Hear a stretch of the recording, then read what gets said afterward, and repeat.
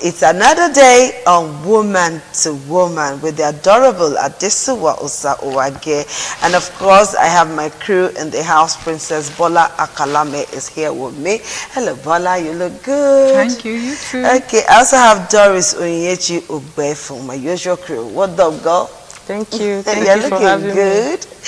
This is your cloth. You go dash me before you come out. Too.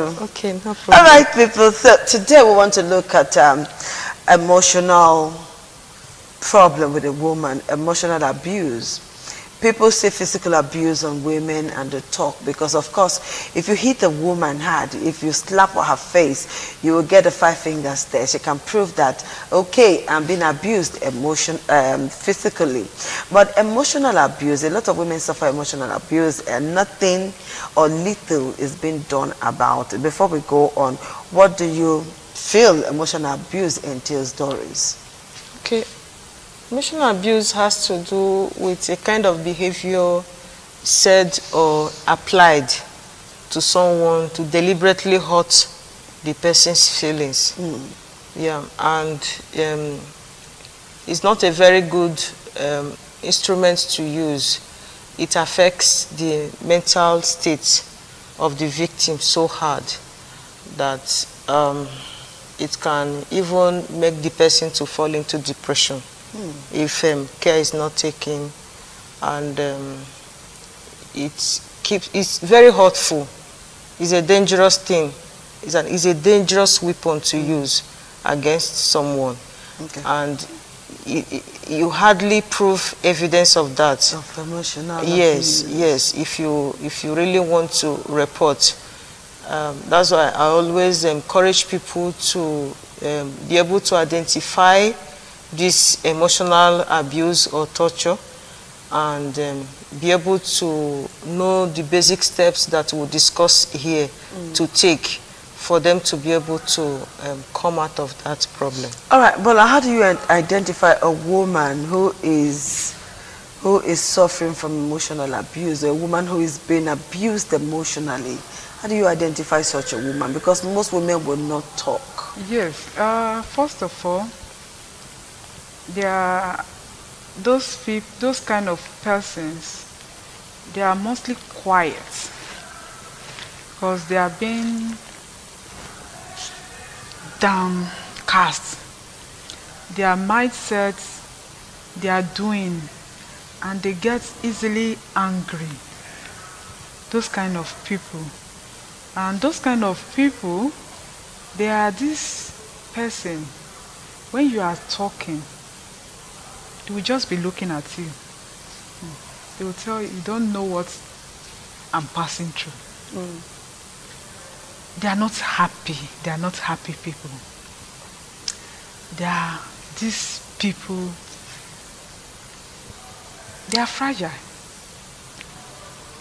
They get angry all the time with just a little thing because a lot is in their their mind. Most times they believe that even when they say it out, who will believe them? Because we are, we are not talking about physical abuse here, we are At talking about emotional. There's no evidence of beating or anything.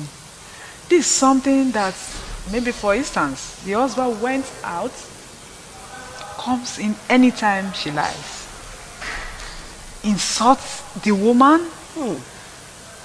talk to her anytime sh- he likes.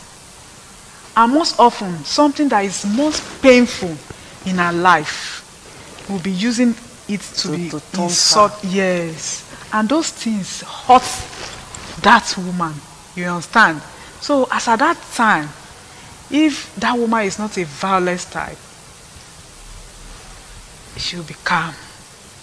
But with a little thing, she gets upset. Most, I think I heard, uh, watch or saw something recently on, on newspaper that a, a man wants to sleep with The wife. The wife. Yeah. and at the end of the day, because the, the woman maybe is angry or is emotional derailed or something is happening within her, she, she you know, she, She refused refused. her husband. And at the end of the day, the man took her phone, smashed it, You understand? Because of the anger within, because of the emotional trauma that woman have been through, she have to use something otherwise, and which is wrong. You understand? But before a woman Okay, can the story of that woman that stabbed the husband. yes because, uh, to de- you know sex, to yes. stab the husband you know that kind of person when you come close to that kind of person and you ask her what is happening why do you, she will tell you a whole lot of stories things But, that but, happened but unfortunately, the Yes. women don't talk when they are suffering this emotional. you know why nobody wants to listen the society believes that men are always right especially in the issue of a, a man comes home every night drunk and you know he wants to sleep with you every night and then and you go out there and you want to complain to any who do you want to complain to? That that, your husband comes home every time and said you want to sleep eh, what is there? He's your husband you should sleep with you know him. You know you can't complain you can't tell anybody say that kind of thing, not even when you're But tired. it's really affecting you. Even sometimes the man comes home raping you even when you are not your body is not there to do it even when you are sick inside you. But because he's drunk and he wants to do it he just do it but inside that woman she's not happy Can, can a man rape his wife? of course but in a in a in actual fact they will tell you that a man cannot rape you know when there is no mutual understanding between the man And and, the the woman. i think we can call it rape because at least with the consent of the woman even the man will not enjoy it you are doing something and you are you know you are just doing it but when the mind of the woman is there and the mind of the man is there. The love will continue growing even with that thing that you people are doing. So forcing a woman is is not is not is not a right thing to do. At least even before you can say you want to sleep with your wife you must touch your wife. You must say a sweet thing. You To must your sugar wife. your wife. Even if your wife is not a girlfriend but you just you know to you know to to bring you know this You must- and uh, You must, love. you must, you must do all that with your wife. you, Yes. you understand? Before you need the two of you will enjoy that thing you people are doing But that thing a man and wife does all the time, is it supposed to be every day? Can't the woman, is, is it impossible for the woman to refuse? Can't the woman say, ah, Oga, I beg? there is nothing in this fit." world that you will not be tired of sometimes you get tired maybe sometimes because of something that you are out there coming in with a lot of things. They believe that you don't have problems it's only man that have Yeah, problem. have problem. no a, a lot of women are doing business. They are doing on their in their working places they have a lot of challenges and all of that. Coming home and you want to do that kind of thing. Ah honey i'm tired. I can't do even instead of that man to understand the woman she will start abusing the woman He may say insulting woman the woman getting it somewhere you know and all, all of that so things Uh, like uh, that Doris, I want to come to you now. Women suffer a lot emotionally. But talking about it to other persons is usually a problem because they do not know the right person to talk to. All right? It- and, and sometimes people don't understand what a woman suffers. And even the woman sometimes don't even understand herself because she cannot narrate the story. Who do you narrate it to? They will ask you, uh, uh, abusing you, okay? You that is married to one big man or the other. Your husband is rich, you are enjoying money, are you you are okay. Why are you Why complaining? complaining? You have a job, why are you complaining? Why shouldn't a woman complain? A man has like 10, 20, 30 side chicks. You don't know the emotional strain you're causing on that woman. But they don't see it as anything. They say, hey, mm, what it mm, concern you? After all, mm. the man is taking care of you. Yeah. You know, and uh, like Bola said, verbal abuse. Oh, some men can abuse for Africa. Oh. Some would carry chair and sit down and abuse a, a woman they call wife. I heard somebody say one time that, look, I'm not going to beat you, but you see this my mouth. I will use you. it to chop you. you know? And truly, the man will just sit down and then I mean, you know, abuse the wife, and the woman can't do will tell you anything. that thing that will yes, make that- sad Yes, and then the men that flaunt their girlfriends in front of their wives. Hmm, emotionally You don't know what emotional pain you're causing to the woman. And then there are some men who have decided that they will not divorce their wives, hmm. neither will they sleep with the woman, neither will they eat food from that woman. What are you keeping that woman for? Is that not emotional abuse? Now, a woman who is going through all of this, where should that woman go to? to you know, last week we had an edition whether I had to go to a pastor or not to go to a pastor. Okay, um, you understand that um, emotional abuse is um, being used to exercise control and manipulate the victim. And it, it does not necessarily mean that it's the man that normally um, does that. Women too also emotionally The abusers. abuse, verbally or emotionally abuse their partner or their husbands too. It's both ways. It both, it's, it's both ways. But the thing is that emotional abuse and um, um, verbal abuse, I see them as siblings. Okay, they are brothers and sisters. They are brothers and sisters. But emotional abuse is more dangerous because it's a silent weapon or instrument used to change you from whom you are to a different thing. Because we are talking about control. Someone is in control, in total control of what you do. Someone is manipulating you. You begin to see yourself from the As usual less a- uh, person less a human being. less a human being to fit into what that person actually wants, which you will end up not getting. Because the person cannot really come specific to tell you these are the rules. The person comes up with different ways to manipulate you, to make you fit into a box to subdue sub, you subdue somehow. you, subjugate you, and mm-hmm. relegate you one side. You get it. It happens. Women use it. Men use it. Now, one thing is sure that But most victims are women. Not really. Most The ones you have known are the ones you have known are women. I have seen at least two men who are in that shoes that their wives emotionally Maybe abuse. two out of ten. Ten. Yes, I have seen, Yes, I but it's more. rare. It's rare. So one thing is this: you must be able to identify that I am in this problem. But the time you see yourself that you are not in charge of anything in the house, assuming you are a wife or you are a, a husband, you are not in charge. You don't take decision.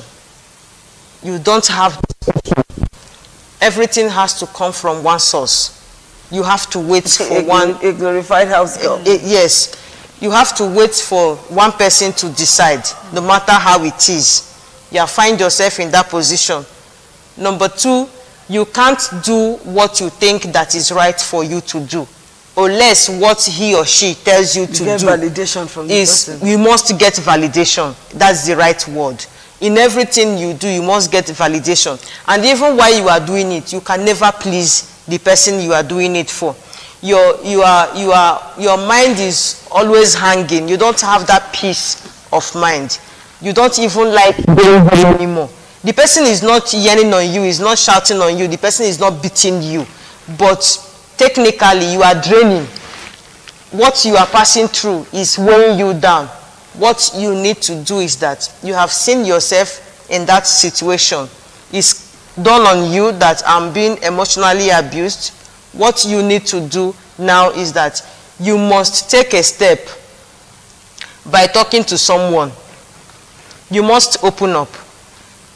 It might be an authority you respect.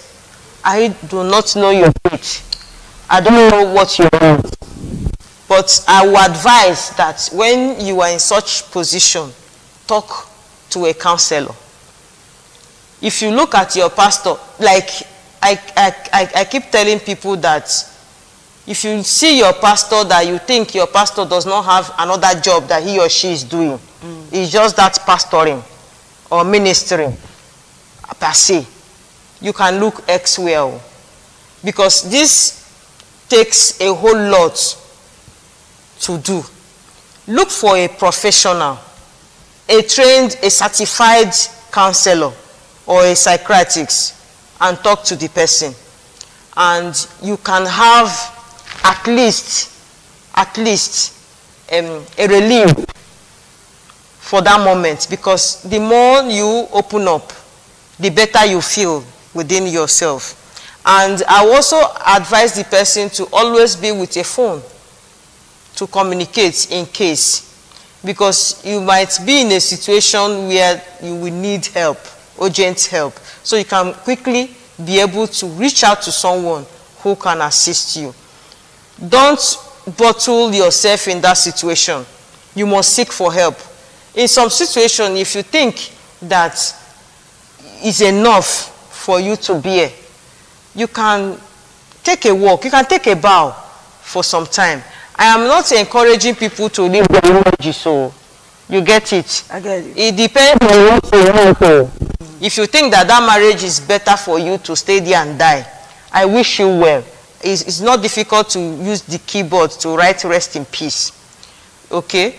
And if you think that life first, that when you are fine, you can be able to think of any other thing tomorrow, then you can now have what and what to say. Because I believe that when you have seen a certified psychiatrist, you can be able to have a way forward. That is, if they want to go and visit a psychiatrist or How many people or, or a counselor, they are trained counselors. Where, okay, the question could be now, where can there I are- find, There are, there are psychologists that you can talk to. the question now can be, where can, somebody might be watching now asking, So where where I can I find find this?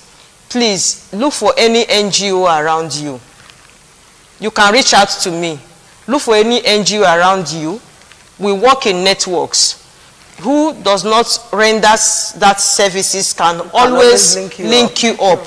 to where you can get the necessary attention that you deserve. And there are hospitals where you can uh, access such help. you There know psychiatrists. You, you know people think that uselu is basically for those who pick things from the dustbin it is not so Uselu, you mean by the psychiatric hospital, neuropsychiatric hospital? you yes i use uselu we all know I, you understand? Not everybody in the Everybody world, because everybody yes in the they world is normally think you. that it's for those who are insane that goes there. They don't know that. Every human person from in one point or the other needs a a psychiatrist. psychiatrist to evaluate you to tell you the state of your mental health.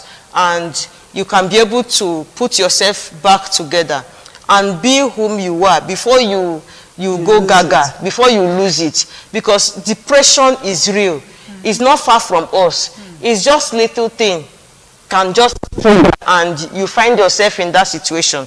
And the number one symptom is you not being happy about yourself. Not being happy with what you do. Before you knows it a lot of things you begin to reason a, lot, a whole lot of things. It's either you begin to overreact to issues or you begin to underreact you get it. When you some persons when they are here they can be here like till next tomorrow they won't talk. They will just be dumb. Excess of everything is too bad. Try as much as possible to pay attention to your mental health. And to those who also perpetrate this evil this abuse look the VAP law is there. That's why we keep asking for the passing of this gender bill because it's going to give us an edge in the society. It's going to reduce or um, may I say um, do away with the patriarchal nature or society structure that we find ourselves. It, it will put us in a position that everybody will begin to see ourselves at the same level. If someone abuse you, please reach out for help. You will get justice. The VAPP law is there to be implemented in full. You will get the justice you want. If only the woman will speak out. Bola, what are those things that you think usually inhibits a woman from speaking out when she is facing abuse, whether emotional, whether verbal, or even financial abuse in a relationship? What are those things that usually hold, Hold the, the woman's woman back? Because there is this invisible force or forces Yeah. that holds women, particularly women, that holds women back from from from talking. Shame. And what kind of shame? A lot of women are ashamed that uh, if they should discuss their issue out they will be laughed at. at the end of day, Unfortunately. that is the problem. And a lot of them don't want to speak out. They don't want to tell anybody. And they, they, be, they believe that things will get better. Things will get better. Things will get better until the last minute. You understand? It will still get better. that is the issue because they feel that if I should tell this person, may she may laugh at me after now. You understand? Yeah. She may laugh at me after now. So because of that, let me keep it to myself. So the fear of stigmatization Station, is wahala, now. That there. is the problem. And another, they didn't know that when you speak out, the problem is already half solved. Because time, I, I can give you an instance of a woman, her husband usually beats her every time, every now and then. But the moment this woman take a step, reported the issue to her boss, I mean to the man boss, still, I can boldly tell you from that moment till now, it's going to about eight months now. The man is having some In bliss at home. the man since then, the man stop beating this woman. Because first of all, in his working place, they have to give him a, a level of, is it reduction in salary or something like a punishment. So because of that, he don't want that to happen. Or he don't want the boss to know that. Do, do- does a woman even have to go that far? No, because Okay. it's getting too much. When it's getting too much, you need to speak out. Okay, now look at it. Since then till now, the man stopped beating. There's, there's, there's a plus. There's there's there's a, a ref, I mean a relief on that woman. Even the woman usually say, ah, my husband is not a nice person now. My husband is not a good person. He doesn't beat me anymore and all of that because it's getting too much. When you emotionally abuse the woman, you beat the woman out to the extent of even broke the woman's car and all of that. You tore her clothes and all of that. So it, you push the woman to the wall. So the woman doesn't have anything to do anymore than just to report you to so, that somebody that you respect most. You understand? That is the speaker we are talking The about. woman is even lucky that the man has somebody he respects. Yes, we had a, we had a case at hand where the woman was suffering so much. She couldn't go anywhere. Even coming to me was like, please, oh, let it just be between you and I. I said, okay, let's talk to this man. Say, no, let's not talk to him. So mm. how do you now want us to help you? You don't want us to bring the man to book. You don't want us to talk to the man. You don't want us to invite the man. Currently, as we speak, a young lady is, is going through a lot. Why? She met somebody who says, I love you, I want to get married to you. She said, fine. The man said, okay, you need to get pregnant first before marriage because my friend said his wife got pregnant first, so you must get pregnant first before hmm. marriage. She came to me that period and I said, I cannot decide that for you. It is your life. Do what you think will make you happy. Well, somehow along the line, she got pregnant. Guess what? Did they marry her? The man said uh, his friend again, I don't know who this devil's advocate is, hmm. that his friend again said, well, he wanted to be sure that she was fertile. Hmm. And so uh, she should uh, do away with the pregnancy. Can you imagine? And you think that's not emotional, Emotional- enough? Yeah. Now the lady said she's not going to do that. Guess what the young man did? He blocked her line. She cannot reach him on the phone. Can you imagine? And when you try to call him, the moment you bring that topic up, he blocks you. Hmm. You know, so women go through A a lot. lot. Yet she does not See. want the man. She does not want to give the address of the man. She does not want to want people to know where the man is. She does not want anything. She just say, ah, eh, people we people. Why do we You care about people, what, what people, people will say. say? Because, like I said earlier, we live, we find ourselves in a patriarchal society structure where they see um, subordination as a virtue. That when you are a woman, you, are must be expected You must be. You must be respectful. to your husband submissive mm. you must be submissive that respectful and all of that he did not say you should. He did not say you should be. You should be subservient. Be respectful. they does they does all to us. They see that as a virtue. So what's the way forward When you now? How do, we, how do we cure a woman who is suffering from emotional abuse? In just a minute, Doris. You cannot force an adult to do something, but you can only advise. Okay. I advise all women out there to speak up. It must not necessarily be your pastor. But when you are ready, make up your mind first. That is the main thing.